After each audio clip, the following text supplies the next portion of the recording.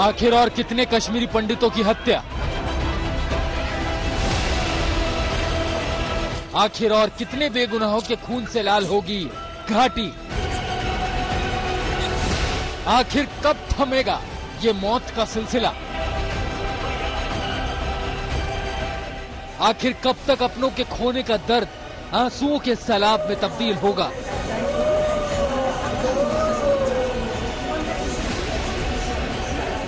गुस्सा सड़कों पर उबल रहा है।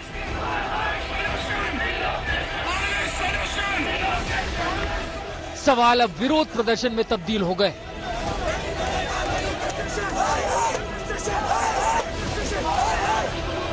कश्मीर में आतंकियों की टारगेट किलिंग का शिकार। एक और कश्मीरी पंडित हुआ है। दक्षिण कश्मीर के शोपिया ज़िले में कश्मीरी पंडित पर फायरिंग कर दी गई। इससे वे गंभीर रूप से घायल हो गए। उन्हें अस्पताल में भर्ती कराया गया जहाँ डॉक्टर्स ने उन्हें मृत घोषित कर दिया। अनफॉर्चुनेट इंसिडेंट हुआ है। ओके एक अनफॉर्चुनेट इंसिडेंट हुआ है जिसमें हमारे एक बार बार कश्मीरी पंडित पूरन जी को मारा गया है और उनकी मृत्यु हो गई। जी जी। So what? तो काम कर रहे हैं। और इस पर आपको पता ही है कि पीएफएफ ने इसको क्लेम किया है। पीएफएफ ने फ्रीडम फाइटर करके उनका एक प्रॉक्सी नेम उसने क्लेम किया है। So लेकिन हमारी. हमारी अभी श्योर हम अभी सिक्योरिटी थी सर इधर उस time when this incident happened mic अपने जी ऊपर लगाओ सिक्योरिटी तो यहाँ पे थी। एक हमारा जो गार्ड लगा हुआ है ये जो छोटा सा क्लस्टर है वहाँ पे जो हमारा गार्ड लगा हुआ है वो गार्ड यहाँ पे सर गार्ड भी है आर्मी का कैंप भी 200 मीटर पे हाँ। उसके बाद भी ये चीज़ हो रही है। हाँ। इसमें हम लोग देख रहे हैं कि इसका रीज़न क्या है, क्योंकि वो स्कूटर से उनके किसी अपने जान पहचान के साथ ही वो स्कूटर से कहीं बाहर गए हुए थे और वो स्कूटर से लौटे थे। वो अकेले नहीं थे, वो दो लोग थे। पूरन कृष्ण भट्ट पर उस वक्त हमला हुआ, जब वो अपने घर से निकलकर सेब बागान जाने वाले थे। तभी दो आतंकी बाइक से आए।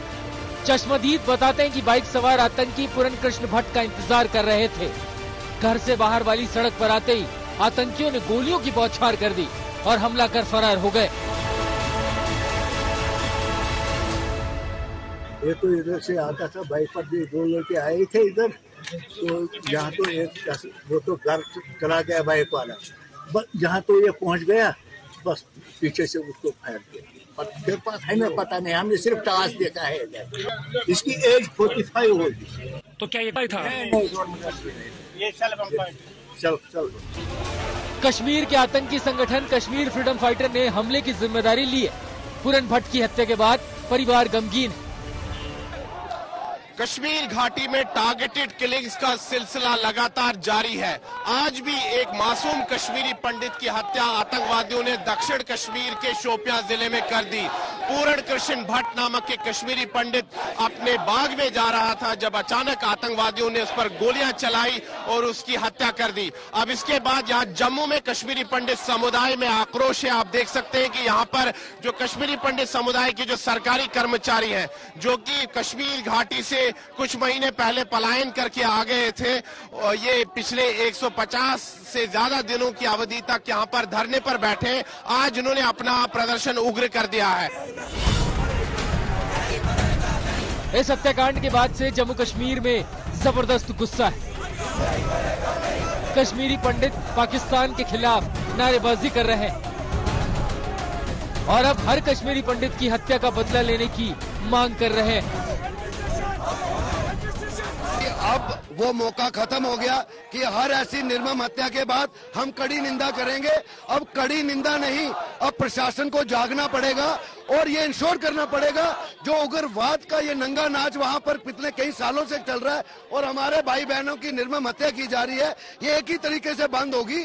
सरकार को सख्त से सख्त कदम उठाने पड़ेंगे और जो उनके सिंपथाइजर्स उनके पीछे हैं, उनको भी एक्सपोज करना पड़ेगा। आखिर कितने राहुल भट्ट, कितने प्र- पूरन जी भट्ट, कितनी रजनी बालाओं को हम खोएँगे, अब ये बर्दाश्त के बाहर है। सरकार को इसका संज्ञान लेना पड़ेगा। कश्मीर में कश्मीरी पंडितों और गैर कश्मीरियों पर आतंकी हमले का सिलसिला नहीं थम रहा है। इस महीने सात तारीख को श्रीनगर में दीपक चंद नाम के शख्स की हत्या कर दी गई। पाँच अक्टूबर को श्रीनगर में ही माखन लाल बिंद्रू नाम के कश्मीरी पंडित को आतंकियों ने मार डाला। 16 अगस्त को शोपिया में ही सुनील कुमार भट्ट की भी हत्या कर दी गई थी। 8 जून को श्रीनगर में सरपंच अजय पंडिता की हत्या कर दी गई थी। 12 मई को बड़गाम में दहशतगर्दों ने राहुल भट्ट को मार डाला था। और अब शोपिया में पूरन कृष्ण भट्ट की हत्या कर दी गई। शोपिया में आतंकियों की नई साजिश को लेकर पाकिस्तान के खिलाफ ज़बरदस्त गुस्सा है। बौखलाहट के अंदर आकर फ्रस्ट्रेशन और डेस्पिरेशन में ये साजिश की गई है। जो जो भी शोपियान के अंदर कश्मीरी पंडित नौजवान के ऊपर किए गए हमले में शामिल हैं। वो नहीं बख्शे जाएँगे। सेना और पुलिस ने चारों तरफ़ कॉर्डन कर दिया है। बहुत जल्द ये सारे आतंकवादी ज़मीन दोस्त हो जाएँगे। शोपिया में पूरन कृष्ण भट्ट की हत्या के बाद सुरक्षा एजेंसियाँ अलर्ट हो गई हमलावरों को सबक सिखाने के लिए ऑपरेशन चलाया जा रहा है। जम्मू से सुनील जी भट्ट के साथ अशरफ वानी, श्रीनगर, आज तक।